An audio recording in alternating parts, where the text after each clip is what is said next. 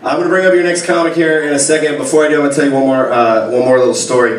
Have you guys had to deal with the, the 10 cent bag thing? Pay, buy your bags at the grocery store. Have you guys had to deal with that yet? Yeah, right. It, it, I, I had it happen to me the other night, and it kind of pissed me off. I know it's 10 cents. It shouldn't matter, but it's like principle. Like, so I was at the grocery store, and I had like 20. First of all, I had a cart, and as a dude, dudes never get carts. Like, we always get the basket. And I got a cart, and I put the shit down. And the guy looks at me, and the kid goes, "So do you need a bag?" And I'm like, "Are you fucking kidding me? Of course I need a bag. Look, I have like 30 items. What do you think I'm gonna do?"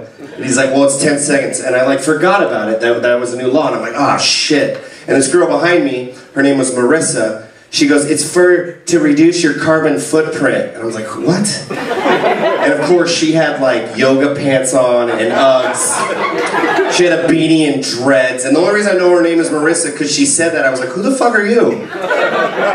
She's like, "I'm Marissa," and I'm like, "Oh, of course you are." And so I get the bag, and I was like, "Yeah, I know I need a bag." And so, like, it's funny. It's changed the, the bagging game. You remember when you used to get groceries back in the day? They would put like the bread in one bag. They put the eggs in a bag. Like they would put everything in separate bags. Now I was like, I got one bag. I got fucking 23 items. Make that shit fit. I'm like dragging the thing out. I do. I got eggs and cranberry juice in the same bag. I don't care. I figured out how to beat the system, though, guys. This is how you beat the system. I finally figured it out. This is what you do. You go to Vons. This is why you go to Vons, because Vons, they ask you if you need help out to your car.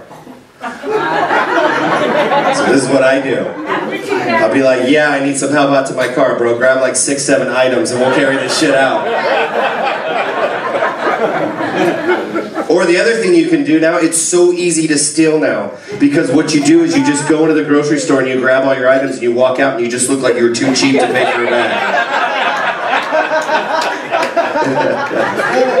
all right, you guys, now that I've taught you how to steal, let's, let's do this thing. You guys ready for your next comic? Let's make some noise.